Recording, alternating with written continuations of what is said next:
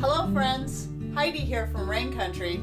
God is good all the time. Well, it's been a while since I've done a fermenting related video and I've been getting some questions about some of the different things I do with my ferments and I thought I would address at least one of those questions today and show you what else I've got going on. I've got a lot of different things fermenting right now and I just just want to do a little overview on that and then I'll get to what I want to show you.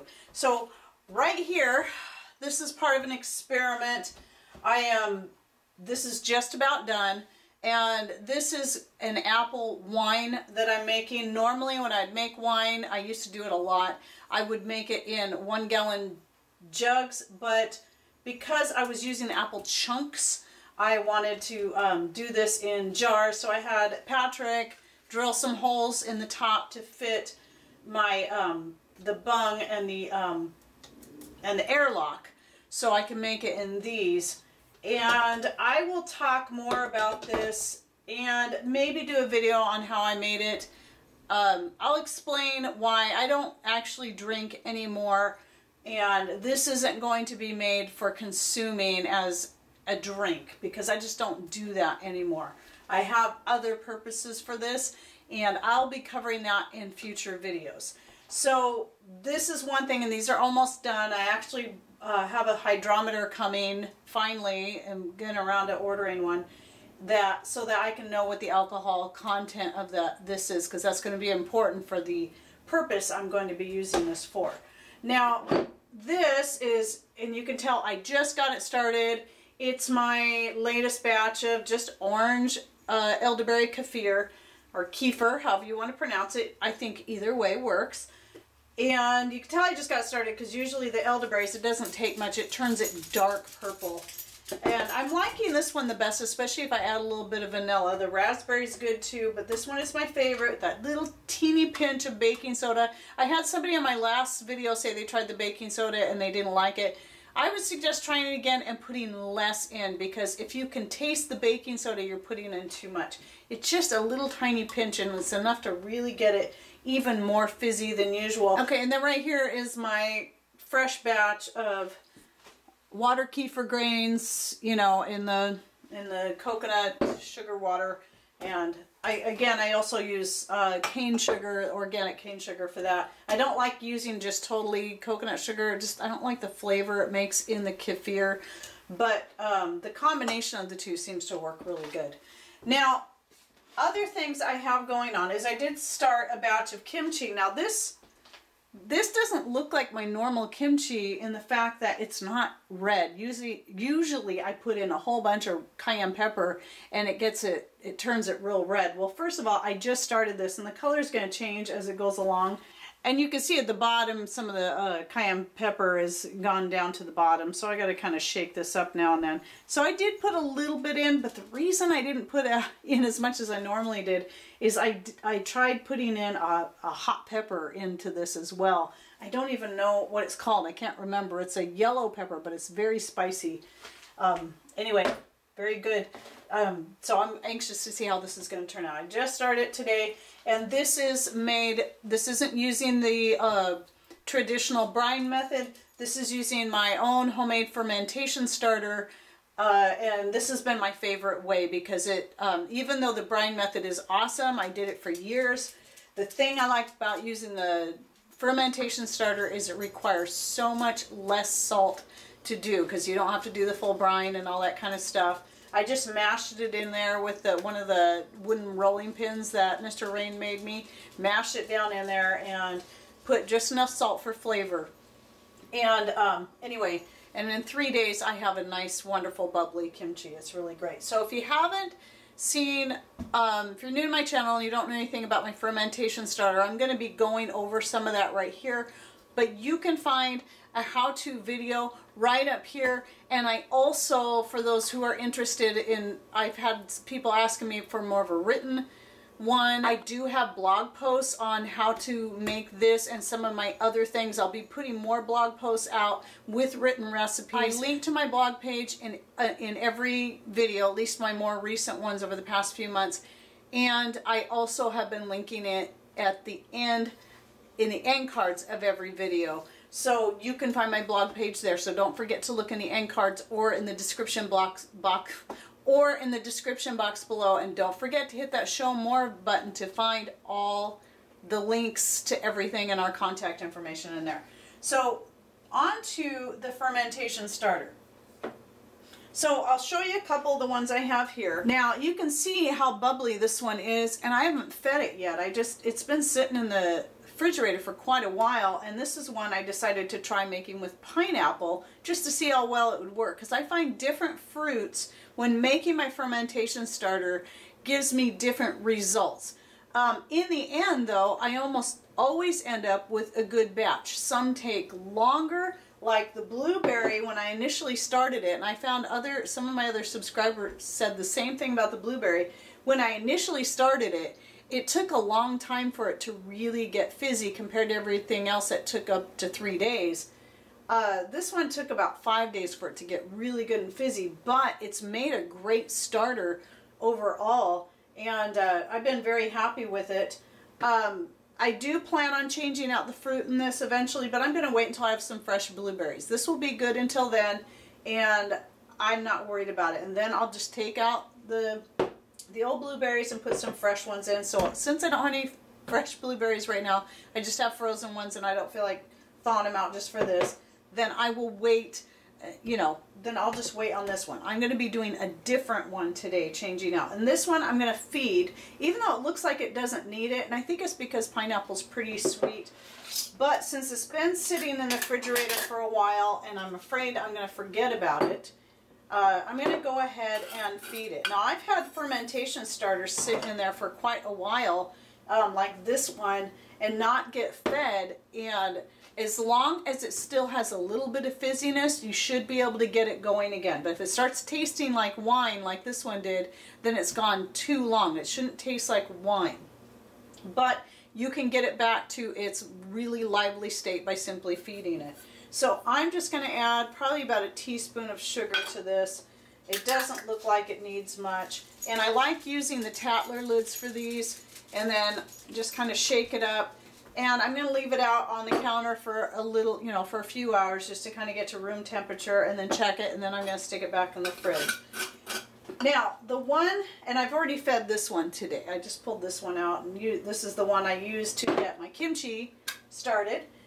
And then this one, um, I'm going to be downsizing this one because now that I had initially increased it up to a quart because I was using this for making bread, but now that I've always seemed to have at least three fermentation starters going, I don't feel the need to have so such a big jar of the raisin. And you'll see the red in there. That's because I added, to freshen it up a while back, I added some goji berries instead of adding more raisins. So what I'm going to do today is I'm going to actually filter out all the fruit and put this in a pint-sized jar and whatever's left you can either drink it, you can do whatever you want with and then I'm going to be putting in some fresh dehydrated goji berries. And uh, I think and though you can use these fruits like making putting it in bread or just eating them however you want I'm going to go ahead and give these to my chickens because I know they just love this stuff. Like when I make the raisin vinegar and stuff like that, and I give them the raisins from that, they love it. And I know it's super good for them. So I'm just going to do that. But think of some possibilities of different things you can use these fruits in so that, you know, don't, don't just throw them out. So I'm going to filter out everything. And part of the reason I want to filter it all out is some of the stuff is just getting kind of icky looking in there. It's not hurting anything, but we just kind of have this way we like things to look more like this. And I notice the raisins, they start to degrade after a while and just kind of make it look a little gross. So I'm going to take all this fruit out. And again, like I said, I'm going to throw this out to my chickens. And I'm going to go do that right now instead of setting it on my counter. Well, I watched them for a minute and they went right for the raisins because the raisins they know and they know they love them. They looked at the goji berries uh, a little skeptically, but I think they're going to try them once they finish the raisins and we'll see what they think about them. So what I'm going to do is go ahead and pour this in here. And then the rest of this I can turn into a soda if I want. So I'm going to set that aside. And I have a video on how I use my fermentation starter to make a natural, healthy soda, uh, fruit soda. So um, you can go check that out. And I will link to it right up here. Now, onto the goji berries. Now, what one of the things I was going to say, at this point, you don't really need, uh, though I've never left it plain like this, I don't see the need to keep adding fruit to it as long as you keep feeding it and it's alive. However, um, if nothing else, the thing I like about adding fruit is that it keeps some good uh, vitamins and minerals and stuff going into your fermentation starter, just giving it more of a healthy boost. And I do think the fruit does help keep it lively, but you're giving it sugar every so often. So the sugar is feeding it to keep it alive anyway. Well, let's put a few more in. And I don't really need to give it any more sugar right now. But I like to put that Tattler lid on and then I'm going to shake it about a little bit. And you can actually see all them bubbles in there.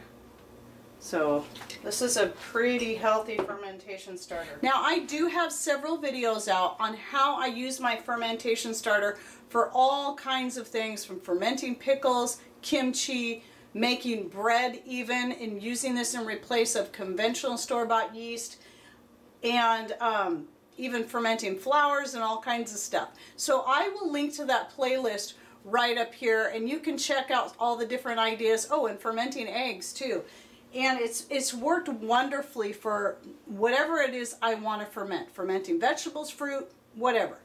Um, but I'll go ahead and go over real quick how I do it. So when I go to make my kimchi I simply strain off one quarter cup of the liquid and add it to every quart jar. So that means if you're going to do a half gallon jar, you're going to use a half cup. If you're going to do a whole gallon, you're going to use a whole cup of your liquid. And then after you do that, then you just top it back off with some fresh filtered water of some sort, not your city tap water. You don't want chlorine and fluoride in this stuff. You want to make sure it's a good clean water. And then um, and then add a little bit more sugar to it, like a about a tablespoon is good to a jar this size. And then let it sit on the counter. Once it, you know, it takes a few hours at most. Um, sometimes a full day is fine. And once you see it really fizzy and bubbly in there, then just stick it back in your refrigerator and it can last in there for a very long time. When I was first making this years ago, I used to always keep it on top of my fridge, but then I had to feed it every single day. And uh, it's better just to keep it in the refrigerator and then you don't have to feed it as much and go through as much sugar. Now, some other things people talked about was sugar. The sugar um, first of all, I recommend you, you make sure you use a good organic sugar. You can use coconut sugar. You can also use raw honey. I did an experiment, and I have a video on that too, on using raw honey for making a fermentation starter, and it works great. The only reason I don't use it is because honey is a pretty uh, precious commodity here and rather expensive, where I can get organic uh, cane sugar and use that for making my fermentation starter for a lot less money. Now, I do have friends that have been giving us honey, but I'd rather save the raw honey for more special things rather than my fermenting. Because here's the deal, and this is the other thing that people get concerned about when it comes to making, whether it be kombucha or kefir or the fermentation starter, whatever it is, you have to have sugar of some sort to get it fermenting. That's what it feeds off of. Once it it feeds on the sugar, it takes it and converts it into something else. It is no longer the same thing. And so you don't have to have the same concern over that going into your body if you're trying to stay away from sugar. So you don't have to have the same concerns about consuming the sugar because it's no longer the same substance anymore. It's actually now turned into something healthy and more gut friendly. So remember that it's it's totally different. It's just like when you make vinegar. You have to have sugar to make vinegar. And the sugar gets converted into alcohol which then gets converted into vinegar. So it's no longer sugar anymore. And so don't worry about your vinegar um, and the sugar content. You have to have sugar or some sort of carbohydrate or you're not going to get vinegar. Okay so I hope that answered a few questions that people had and I got to finally see me um, changing out the fruit in my fermentation starter and don't be afraid to sample all different kinds of fruits. I've made my fermentation starters with raspberries with high success, apples. In fact, that one I made with the honey was also using apples from my tree. Um, ginger was what I used to use when I first started making these, was just ginger with the skin on. I don't know, I've used so many different types of fruits over the years, I don't even remember, but blackberries, any kind of berries, I mean, they're all great. Any fruit will work. Peaches, strawberries, those, those are great too. So just experiment. It doesn't cost, it's so cheap to do um, that if you tried, even if you wanted to do like a half pint jar of each and see which ones, do several side by side and see which ones um, respond better and which ones you like better when it really, when it comes to the flavor though of whatever it is you're fermenting, it's so watered down that it's really not going to change the flavor much. Now ginger, a ginger based one is really good for kimchi, um, but still I've not noticed, you know, using a blueberry or an apple or a pineapple or raspberry in making kimchi might sound weird, but I don't taste the fruit in it when I do that. So um, just keep that in mind. It's really not an issue. And yes, raisins work great. You can use dried fruits. They work just fine. Frozen fruits can sometimes work good and sometimes not so good. And again, for the start to finish process on how to get this going in the first place, it's super easy. Just go check out that video I linked to at the beginning of this or you can just go ahead and click on that eye and you'll see the drop down menu and um, you'll find that video in there. I hope you enjoyed this video and that you learned something new. Thanks for watching. Take care and God bless.